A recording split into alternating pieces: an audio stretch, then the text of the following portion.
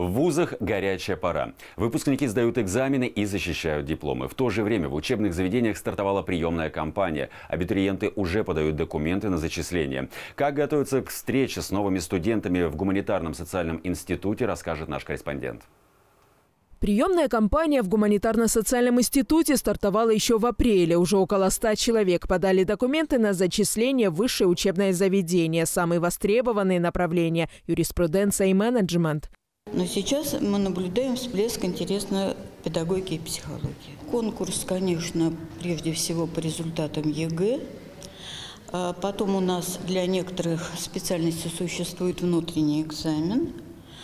И уже мы потом по ранжиру принимаем студентов Гуманитарно-социальному институту уже более 20 лет. Студенты учебного заведения получают дипломы государственного образца. Гордость вуза – выпускники, которые стали высококвалифицированными специалистами. У нас э, ребята достаточно хорошо трудоустроены, и что самое главное, мы получаем благодарственные письма от работодателей. В нашем институте все делается в пользу студента. И весь образовательный процесс направлен на то, чтобы люди получили качественное образование. В этом году в институте 350 выпускников, но большинство студентов планируют продолжить здесь обучение.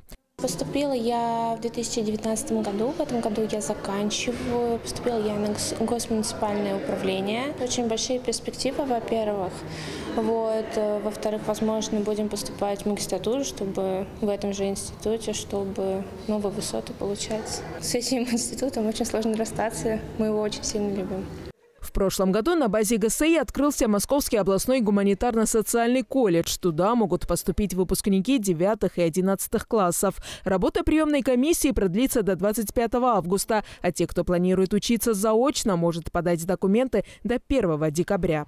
Луиза Игиазарян, Денис Заугольников, телеканал ЛРТ.